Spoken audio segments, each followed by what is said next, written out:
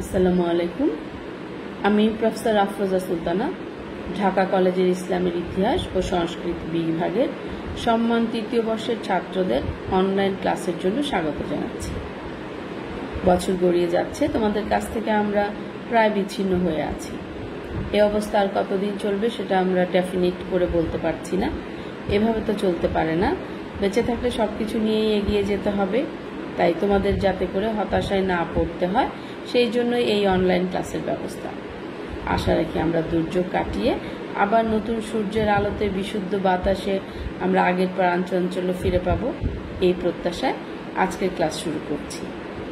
এবছর তৃতীয় বর্ষে আমি ইউরোপের ইতিহাস, আধুনিক ইউরোপের ইতিহাস সতেরোশো উননব্বই থেকে উনিশশো নব্বই এই বিষয়টি পড়াবো। এই বিষয়টি আমরা দুজন শিক্ষক পড়াই। আমি শুরু করব। প্রাচ্য সমস্যা থেকে। আমার আজকের আলোচনার বিষয়, প্রাচ্য সমস্যা কি এবং এর কারণ? ইউরোপের ইতিহাস পড়তে গেলে আমাদের ইউরোপ সম্পর্কে সাধারণ জ্ঞান থাকা বাঞ্ছনীয়। যদিও আমি জানি তোমরা যে, যেহেতু ইউরোপের ইতিহাস ইতিমধ্যে অনেকটুকু পড়েছ, জেনেছ, তারপরেও সাধারণ কিছু কথা না বললেই না ইউরোপ হচ্ছে একটি মহাদেশ, এর আয়তন উনচল্লিশ লক্ষ তিরিশ হাজার বর্গমাইল। জনসংখ্যা চুয়াত্তর কোটি চব্বিশ লক্ষ বাহান্ন হাজার। মোট, এই মহাদেশে মোট দেশ পঞ্চাশটি, ছয়টি আংশিক স্বীকৃত। ইউরোপের উত্তরে উত্তর মহাসাগর, পশ্চিমে আটলান্টিক মহাসাগর, দক্ষিণে ভূমধ্য সাগর এবং দক্ষিণ পূর্বে কৃষ্ণ সাগর ও সংযুক্ত জলপথ রয়েছে। ইউরোপ ভূপৃষ্ঠের দ্বারা বিশ্বের দ্বিতীয় ক্ষুদ্রতম মহাদেশ।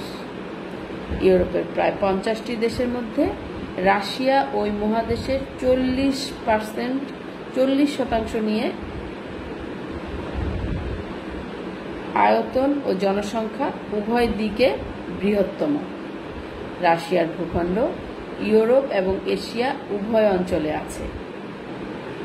রাশিয়ার পরে ভাটিকান সিটি এই মহাদেশের সবচেয়ে ক্ষুদ্রতম অংশ। পৃথিবীতে দুটি মহা বিশ্বযুদ্ধই মূলত ইউরোপকে কেন্দ্র করে সংগঠিত হয়েছে। এবার আসা যাক যে প্রাচ্য সমস্যা কি। ইউরোপের পূর্বাঞ্চল বা বিশেষ করে তুর্কি অধিকৃত অঞ্চল নিয়ে যে জটিল রাজনৈতিক অবস্থার সৃষ্টি হয়েছিল, তাকে ইউরোপের ইতিহাসে প্রাচ্য সমস্যা বলে, ইংরেজিতে বলে ইস্টার্ন কোশ্চেন প্রাচ্য সমস্যা একান্তই ইউরোপীয় সমস্যা। এশিয়া, ইউরোপ, আফ্রিকার বিশাল বিশাল অঞ্চলের উপর বিস্তৃত তুরস্ক সাম্রাজ্যের অস্বাভাবিক দ্রুত গতিতে অধপতন আধুনিক যুগের প্রাচ্য সমস্যার মূল কারণ। তুরস্কের এই অধপতনকে কেন্দ্র করে বিভিন্ন ইউরোপীয় রাষ্ট্রগুলোর মধ্যে যে স্বার্থ সংঘাত দেখা দেয় এবং তুরস্ক সাম্রাজ্য, সাম্রাজ্যে বসবাসকারী খ্রিস্ট ধর্মীয় জাতিগোষ্ঠীর মধ্যে যে রাজনৈতিক চেতনার উদয় হয়, তার ক্রিয়া প্রতিক্রিয়ার ফলেই প্রাচ্য সমস্যার পূর্ণাঙ্গ পরিণতি ঘটে। এর অর্থ হল প্রাচ্য সমস্যার মূল কেন্দ্র ছিল তুরস্ক। আঠারোশো পনেরো সালে ভিয়েনা সম্মেলনে প্রাচ্য সমস্যা শব্দটি প্রথম ব্যবহৃত হয়। ঐতিহাসিক মিলার বলেন, ইউরোপে তুরস্ক সাম্রাজ্যের ক্রমাবলুপ্তির ফলে যে শূন্যতার সৃষ্টি হয় তা পূরণ করার জন্য যে সমস্যা দেখা দেয়, তাই প্রাচ্য সমস্যা। পঞ্চদশ শতকের শেষ দিক থেকে তুরস্ক ইউরোপের পূর্বভাগের দেশগুলোর উপর আধিপত্য স্থাপন করে। গ্রিস, বুলগেরিয়া, রুমানিয়া, যুগোস্লাভিয়া প্রভৃতি আধুনিক ইউরোপের ইউরোপীয় দেশগুলো এই শতক থেকে বহু শত বছরের জন্য তুর্কি সুলতানদের অধীনে চলে যায়। দীর্ঘকাল তুর্কির শাসনাধীনে থাকলেও কৃষ্ণকায় ইসলাম ধর্মাবলম্বী শাসক তুর্কি জাতির সঙ্গে শ্বেতকায় খ্রিস্ট ধর্মাবলম্বী স্লাভ জাতীয় ইউরোপীয় প্রজাদের কোনো সাংস্কৃতিক ঐক্য গড়ে উঠতে পারে নাই। তুরস্ক কেবলমাত্র সামরিক শক্তির জোরে এই বিজাতীয় প্রজাদের নিজেদের অধীনে রাখত। ঊনবিংশ শতক থেকে তুরস্কের সামরিক শক্তি ক্ষয় হতে থাকে। মোল্লাতন্ত্র এবং ধর্মীয় গোড়ামির ফলে তুরস্ক আধুনিক উপযোগী শাসন ব্যবস্থা, সামরিক ও সামাজিক সংস্কার প্রচলিত করতে পারে নাই। ফলে মধ্যযুগীয় শাসন ব্যবস্থা এবং সেনাদল নিয়ে আধুনিক মারণাস্ত্রে সজ্জিত শক্তিগুলো যেমন রাশিয়ার সাথে পেরে উঠতে পারেনি। এই জন্য তুরস্ককে সে সময় সিকম্যান অব দ্য ইউরোপ বা ইউরোপের রগ্ন ব্যক্তি হিসাবে আখ্যায়িত করা হয়েছে। এদিকে সপ্তদশ শতক থেকে রাশিয়া তুরস্কের বলকান অঞ্চলের রাজ্য গ্রাস করতে করতে কৃষ্ণ সমুদ্র উপকূল পর্যন্ত রাজ্য বিস্তার করে। রাশিয়ার জারদের এই বিস্তার নীতির নাম ছিল উষ্ণ জলীয় বা ওয়াম ওয়াটার পলিসি এভাবে রাশিয়া কৃষ্ণ সাগরীয় শক্তিতে পরিণত হয়। তুরস্কের হাত থেকে পূর্ব ইউরোপের বলকান রাজ্য গ্রাস করার নীতি ঊনবিংশ শতকেও রাশিয়া অব্যাহত রাখে। তুরস্কের বিরুদ্ধে রাশিয়ার সাম্রাজ্য লোলুপতা রুশ তুর্কি দ্বন্দ্বের সূচনা করে।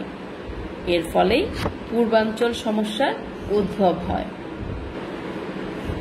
পূর্বাঞ্চল সমস্যার অপর দিক হল বলকান জাতীয়তাবাদ।